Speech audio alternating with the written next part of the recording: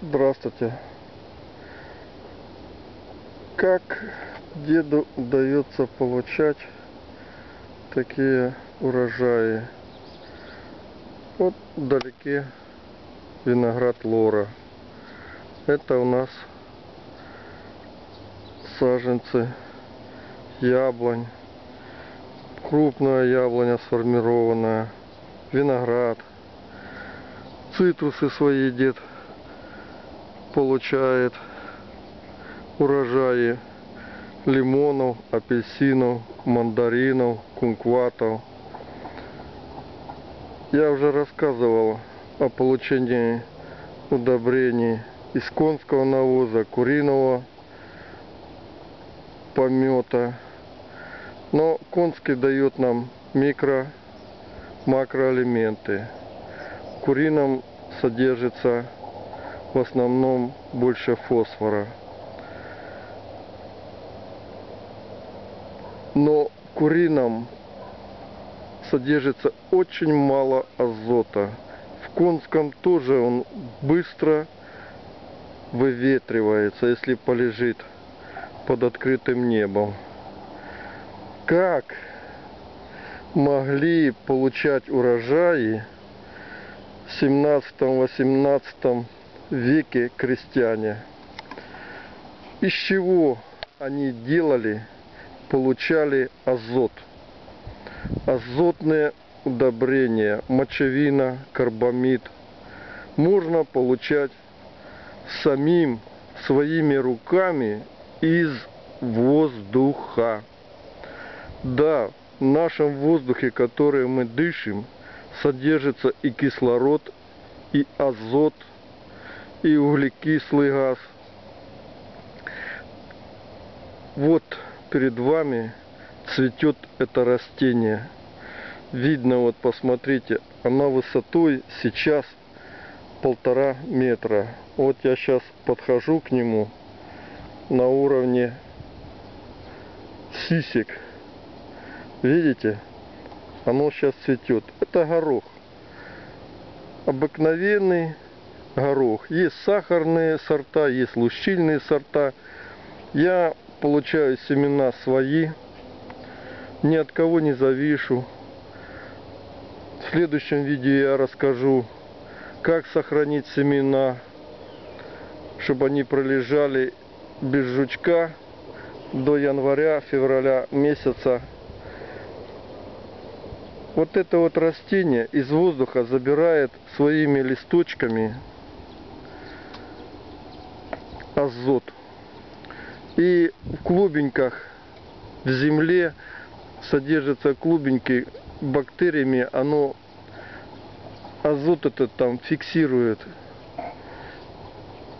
Земля потом которая берется после урожая гороха, когда он уберется, я беру для цитрусовых.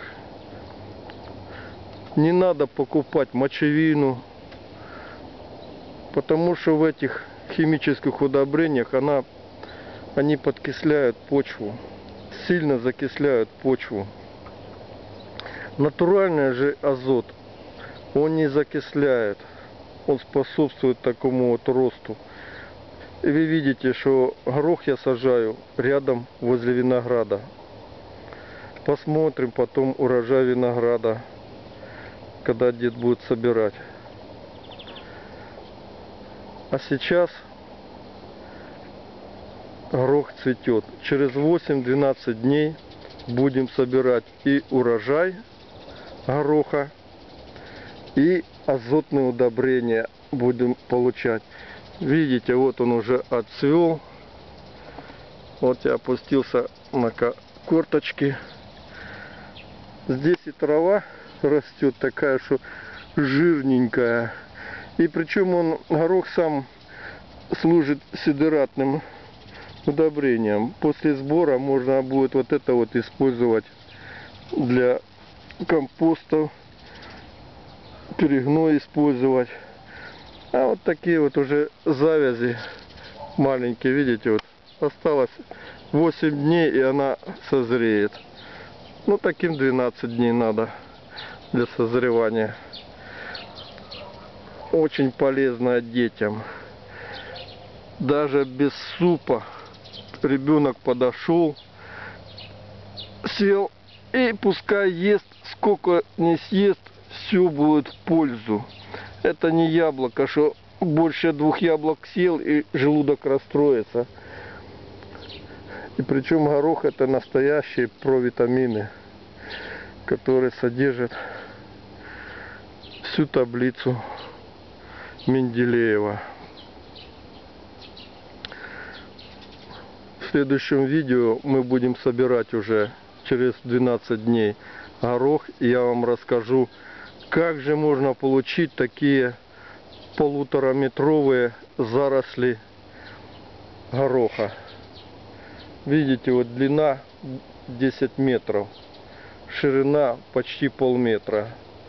Чтобы можно было зайти с этой стороны, собрать урожай, и можно было зайти с той стороны. И обязательно вот такая вот решетка.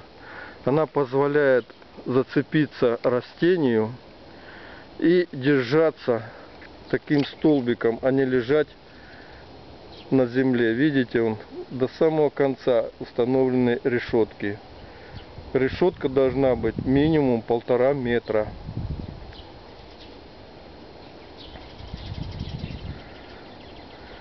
Спасибо, что смотрите канал Деда, кликаете по рекламе. Пока.